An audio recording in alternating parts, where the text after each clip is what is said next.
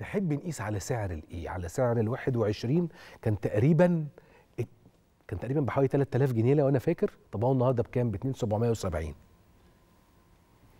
نزل السعر ولا ما نزلش؟ طيب. ولو ما كانتش اللي ما سمعش الكلام وقرر إنه يروح يشتري خبط في الحيط ولا ما خبطش؟ خبط. لسه السعر هينزل تاني لسه السعر هينزل تاني لحد ما يتوازن مع السعر العالمي. لو سمحت ما تعملش حاجة لا عربيات ولا غيره غير لما السعر يتوازن مع السعر العالمي. أول ما تلاقي الدولار سعره ثبت واستقر وبقى في سعر واحد خلاص ما هي الفلوس دخلت. يعني الرئيس قال دولة رئيس الوزراء قال آه، دولة المحافظ البنك المركزي قال أو معالي محافظ البنك المركزي قال تمام.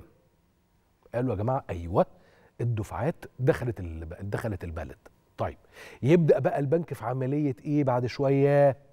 التدبير. اللي هو حضرتك هتروح البنك تطلب والله أنا عندي اعتماد بكذا أهلا وسهلا. ده أنا عندي مش عارف آه، مصروفات كذا عندي مش عارف إيه أهلا وسهلا.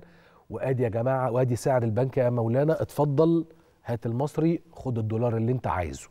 في اللحظة دي هتلاقي السعر كده بدأ يتزن. شكرا. حاجة اسمها السوق السوداء باي باي. ألف سلامة. إلهي لا يرجعها. السعر أصبح كده. عندك سعر واحد في البلد. ساعتها فكر بقى إيه؟ إنك تشتري. عايز تجيب عربية عايز تجيب شيء عايز تجيب ذهب عايز تجيب مش عارف إيه. أهلا وسهلا. طالما لسه السعر ما توازنش ما تقربش للكلام ده. القصة مش المباهاه ان أنا صح. القصة إن أنا عندي إيمان بهذه الدولة وهذا المسار. عندي يقين في رئيس الجمهورية عندي يقين في الحكومة عندي يقين في اللي بيحصل. يقين كامل. عندي بعض التحفظات على بعض الحاجات في الحكومة كلنا عندنا.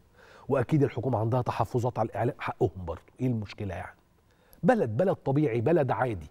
هنا في تحفظات على كذا وهنا في تحفظات على كذا. هنا في تباينات في وجهات النظر عادي.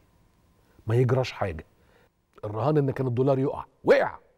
الرهان إن الأسعار تبدأ تتراجع بدأت في التراجع. الرهان إن الذهب سعره ينزل بدأ في النزول. وبينزل بينزل. دي مصر.